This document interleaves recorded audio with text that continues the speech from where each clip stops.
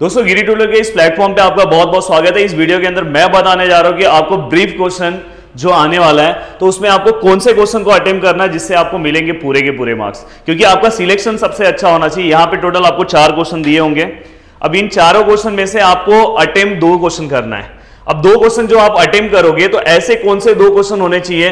कौन से टाइप के क्वेश्चन होने चाहिए, जिससे आप उन क्वेश्चन को अटेम्प करो और आपको मिलेंगे पूरे के पूरे मार्क्स क्योंकि हिस्ट्री में आपको पता है कि आप फुल मार्क्स आराम से, चाहे आपका राइटिंग नॉर्मल हो, कुछ भी हो, अगर आप सही लिख रहे हो तो आपको पूरा का पूरा मार्क्स मिलेगा। तो दोस्तों, जैसे यहाँ पे कुछ क्वेश्चन है कभी कभी ये, यहाँ पे जो लास्ट वाले क्वेश्चन में, आपको यहाँ पे नॉर्मल टू मार्क्स वाले भी क्वेश्चन आ सकते हैं, या कोई छोटे क्वेश्चन आ सकते हैं तो आपको ये चारों क्वेश्चन में से ये डिसाइड करना है कि आपको सपोज़ ये चारों क्वेश्चन समझ में आ रहा है कि चारों क्वेश्चन के आंसर आ रहे हैं बट आपको सिलेक्ट वो क्वेश्चन करना है जिसका आंसर थोड़ा सा ब्रीफ हो।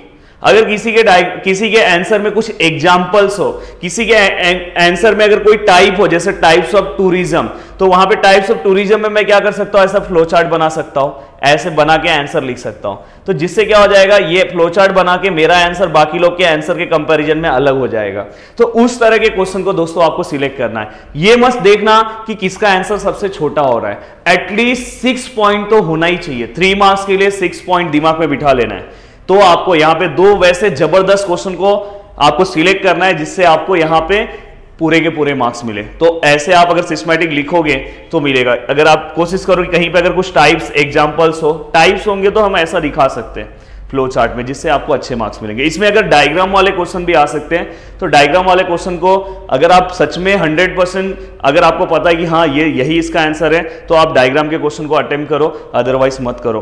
और नॉर्मल से दो क्वेश्चन को सिस्टमेटिक अटेम्प्ट करो, क्योंकि एनी टू है और आपको मिलेंगे पूरे के पूरे मार्क्स तो उम्मीद करता हूँ कि आपको ये पूरा का पूरा वीडियो समझ में आया होगा। अगर वीडियो आपको लग रहा होगी हमारा एफर्ट सच में बहुत अच्छा है तो वीडियो के नीचे आप कमेंट कर सकते हो। आप में से जो सबसे अच्छा कॉमेंट करेगा, ज़रूर मैं उसे पिन करूँगा। तो थैंक यू सो मच दोस्तों। दिल से थैंक्स जय हिंद दोस्तों।